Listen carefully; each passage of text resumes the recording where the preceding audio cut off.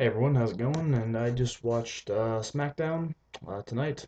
Taped on Tuesday, watched it tonight. Um, and wanted to talk about a little bit. This was the the Go Home SmackDown, the Go Home WWE show for uh, SummerSlam in two days. Um, and uh, yeah, this was pretty meh, honestly. I mean, without Punk on the show, frankly, the the product suffers a great deal these days. And in many instances, I was reminded of why I stopped watching. Um, but that having been said, we had a continuation of the Christian Orton title situation, um, which was actually, frankly, done pretty well. Um, Triple H came out at the beginning of the show to talk about what matches would be on the card. Uh, Christian came out and once again tried to use his legal savvy or whatever to um, get out of the mat. I think he was trying to get out of the no holds barred stipulation, um, and did not. They they had a nice exchange. You know, Christian's really good at getting over as a heel, so um, you know, no problems here.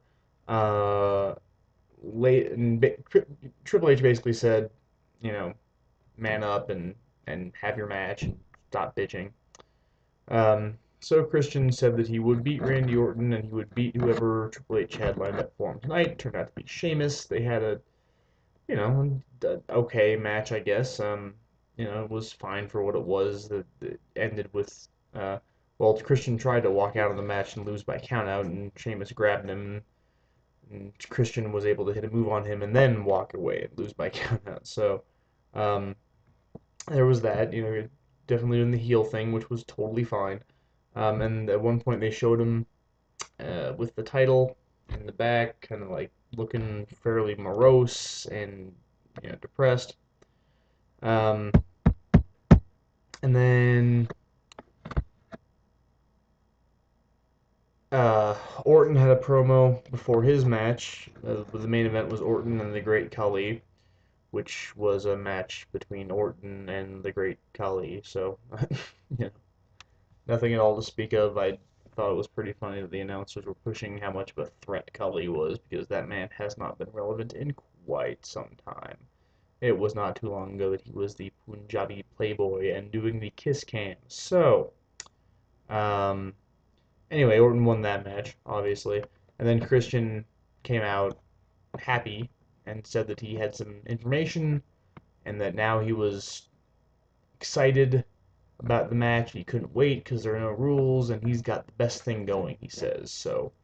Um, you know, I'm assuming that means he will um, have somebody maybe come out help him at SummerSlam or something. Definitely add a little bit of intrigue to that match. Um, you know, if Christian wins, it'll it'll almost definitely be by some kind of heel, you know, dastardly act. So um, I was thinking during the match how funny it would be if Tomko came out uh, on Christian's side, but that's probably not going to happen. it will be interesting to see what happens, though. I am interested to see that. Um, other things on the show, you know, um, Cody Rhodes won the IC title, so that was pretty cool. Uh, the match wasn't great, it, you know, it was Ezekiel Jackson is just kind of, you know, has done nothing really to impress me.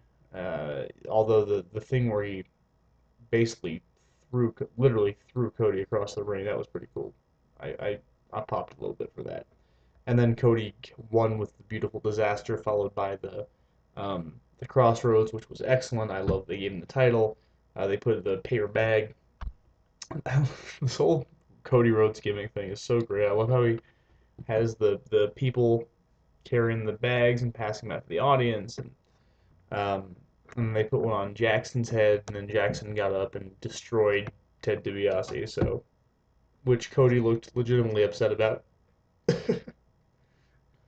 um, didn't go to help Ted, just kind of left with the look of fear upon his face.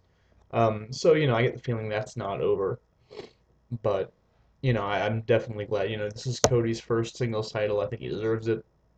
Uh, I think he's the right. Uh, if I was if I was running WWE for one night and they said who would you put the Intercontinental Championship on right now, I would have said Cody Rhodes. So happy about that. Um, we had some other stuff. We had a Divas match, a Divas tag match with Beth and Natalya, the Divas of Doom, who have recently been uh, going around beating the crap out of the uh, Playboy Playmate divas, as it were, um, or the you know the princesses or whatever you want to call them, the the, the divas, the, not the wrestlers, the divas. They came out and um, had a tag match against AJ and Kaitlyn, which was you know it was good to see AJ and Kaitlyn on TV. I think I like I enjoy looking at both of them certainly, and and uh, I don't mind their matches. You know, this was really short, so nothing really to speak of. They, they all got in the ring, which was nice, but you know, not very long. Um, and the Divas of Doom won pretty impressively, so that was cool. And uh, Beth hit the glam slam on AJ to get the pin, and then uh, Natalya put the sharpshooter on Kaitlyn after the match. You know, pushing their thing, which is cool. Um, man, it'd be nice if if Kong or Karma or whatever you want, if she was around for this thing. I you know, kind of, I almost can't help but wonder if they're, you know, prepping for her to come back at some point. I mean, because you'd be how how funny would it be if if Beth and Natalya went on this huge tear against all the divas, and then Kong came in and beat the crap out of both of them, or even joined up with them. That would be interesting too. Probably not gonna happen, but it just something I was thinking about. Um, what else do we have? We had uh, Alberto Del Rio taking on Daniel Bryan and Money in the Bank versus Money in the Bank winners. Um, you know, this was fine, but it was not long enough. It was, um, you know, this was really short for what it should have been, I think, and I, I'm continually confused by why we have Raw guys coming over to SmackDown all the time. It's happened what three or four weeks in a row now. You've had Truth or Morrison or now Del Rio coming over to SmackDown. I mean, you know, is the roster really that thin? I guess it is, especially because they just fired a bunch of people. Um, but you know, it's like, and I can see why they gave Del Rio a clean win over Bryan because Del Rio was just coming up losing cleanly to Punk on Raw, and that's not good for him at all. Um, because he's the guy supposed to be challenging for the title soon. He's got the money in the bank, and he got his ass kicked by one of the champions. So, you know, I see why they gave him the, the win over Bryan, but uh, you know, honestly, the match wasn't nearly long as long as it should have been. I, there are things you could have cut out of this show to get and given that match more time. I think they should have, if they're going to use a Raw guy, at least use the Raw guy. Um, and Wade Barrett came out and hit uh, hit uh, Daniel Bryan, beat up Bryan with a kick, and then hit him with, uh, as The Rock, to, to paraphrase The Rock, the most idiotic move in sports entertainment. Um, the, the wasteland is stupid. He needs a new finish. I like Wade Barrett, but he needs a new finish badly. And you know, I mean, obviously, it, it turned they didn't announce this on the show, but as it turns out, Barrett and Bryan will have a match at SummerSlam, which raises the total match count up to five. Um, so I understand why Barrett wasn't facing Bryan this week, but you know, there, I there are guys you could have used in the Del Rio spot and maybe gotten Bryan over, you know, but whatever. Um, Tyson Kidd had a match with Sin Cara, uh, the returning Sin Cara, who is not really Sin Cara, as in it is not Mystico, it is Hunico, a uh, FCW wrestler who is uh, putting on the mask so as to keep the Sin Cara buzz going while Mystico is suspended. Uh, we're actually still not quite clear whether or not. Uh, I think the what I've heard is that the they want to bring is that they want to work um, this whole thing into an angle with maybe perhaps Mystico as Sin Cara feuding with Hunico after he comes back. Um, that would make sense in some ways, if only because the announce team was really being weird about this whole thing. You know, like I, I would think that if you were trying to fool everybody into believing that Sin Cara was actually Sin Cara, you would not bring attention to the fact that he was heftier and heavier. Um, you would not bring attention to the fact that he has a different move set. Uh, you, you they they kept mentioning things and, and bringing up things that would suggest that it's not really Sin Cara. So if that's part of an angle, it makes sense. If not, I think it's kind of bad announcing. But frankly, the announcing was bad throughout the whole thing. Uh, this was another show where the announce team uh, came really close, and in many ways did ruin a lot of things here. I mean, and even even Mathews was horrible on this show. He was just awful, awful, awful, awful. They were all awful. Michael Cole is really, really good at pushing storylines and pushing characters. Um, but his problem is that when he's in this mode of heel Cole, pushing storylines and pushing characters, he's not calling matches. And, you know, as I said uh, in my Raw review, you know, J- on Raw last week, you know, JR could do that for him.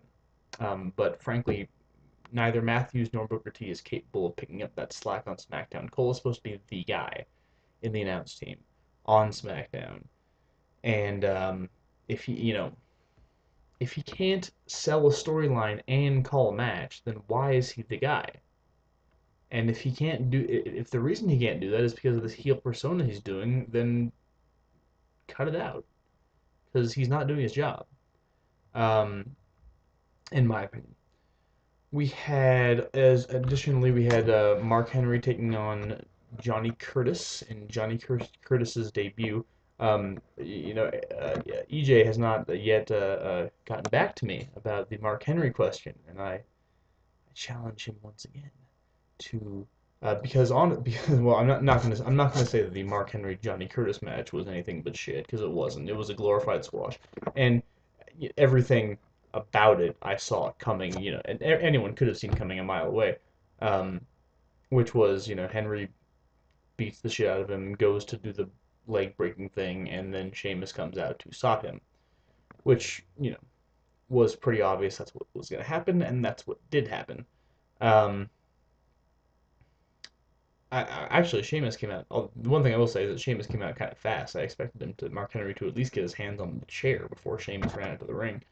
Um, anyway, so you know that was all kind of whatever. But Henry had a promo beginning of the show with Curtis. Curtis was backstage, and Henry came in and did really, really good job in this, in this promo with Curtis. He, you know, he basically said, you know, God, you know, he was very just like calm, collected, like, man, it sucks for you. You know, your career is beginning and ending on the same night. And Curtis goes, what? And Henry's like, oh, they didn't tell you? Your your debut match is against me.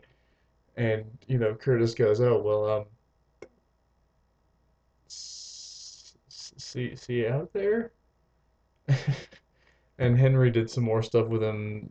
Henry was was really good in this promo. I I, I think Mark Henry is in this place. Right now is a really good time for him, just because where he is in his career and where WWE is right now. Henry is one of the only guys, one of the only veteran company guys, as in, you know, I mean, Henry's been around since Attitude Era. Um, and he's never worked for anyone else. So, and he's he's really and, and everybody else who can kind of say that is retired. I mean, you know, Triple H is the COO, and Michaels is retired, and Edge had to retire, and you know, uh, you know, or they're in other companies. You know what I mean? And it's like Henry, you know, Taker's not around, and um, Henry he's in the spot where he can get guys over. He knows what he's doing. He knows the system, and he's not being put into programs with people that he can't with people that make him look like a joke or make him look weak. He's you know he's not being put in a program with somebody like the Undertaker, you know when he was feuding with the Undertaker, man, I hated that. I, you know, um, I, it, it didn't work for me because Henry came off as so inferior. It's like it's, You know, The Undertaker's gonna have a match at WrestleMania against fucking Mark Henry. Nobody cared, and it was like nobody took him seriously. In this kind, in the place he's in now, the place the company is now, with the character they're giving him, I think he's got a real great opportunity to to help guys get over, and to use his knowledge and um, his ability to work this character because it's basically the same character he was doing during the Undertaker feud, but you know now he's doing it with Sheamus, and Sheamus is a guy that you can see Mark Henry beating the crap out of. Frankly, you know I can see it. You know, is the match at SummerSlam going to be very good? You know, no. I mean, let's not kid ourselves. There, a match between Sheamus and Mark Henry at SummerSlam is going to suck. Um, you know, if Triple H can't pull a good match out of Sheamus, there's no way in hell that Henry can. But um,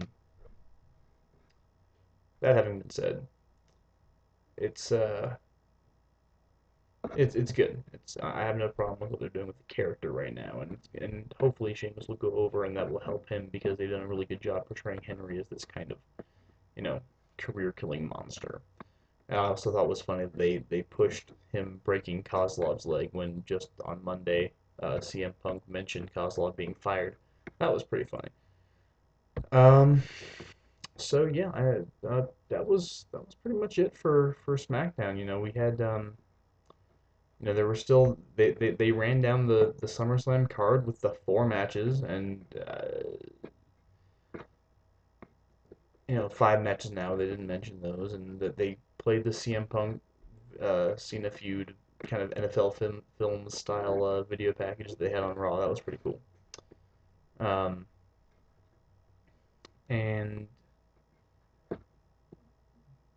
yeah, I mean, frankly, you know, it wasn't that great of a show. It was okay. It was as far as making you want to buy SummerSlam. I mean, I, I think they're counting, and rightly so, that Punk Cena is going to make you want to buy SummerSlam you know, there's only four, five matches on the card, one of them that wasn't even announced on television, and that's because, you know, SummerSlam is Punk Cena. That's what it is. It's going to be interesting to see what happens with Christian Orton, and, you know, I'm glad we have a couple of announced undercard matches, but really, it's Punk Cena.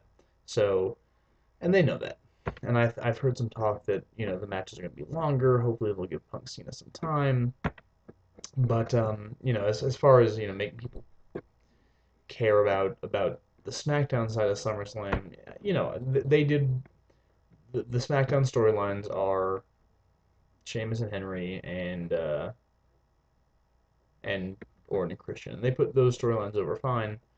Um, you know, overall the show wasn't great, but it also didn't stink up the place. It was just like I said at the beginning, kind of meh. It was alright. So, yeah, I can't really think of anything else I wanted to say aside from the fact that, uh, you know, Zack Ryder was barely on this week and uh, Aksana looks good with black hair. Uh, but, you know, frankly, that's that's really about it. So, um, yeah, we'll see how SummerSlam goes. I'm looking forward to it, and I'm sure I'll be doing a video on it. So, uh, we will catch you then.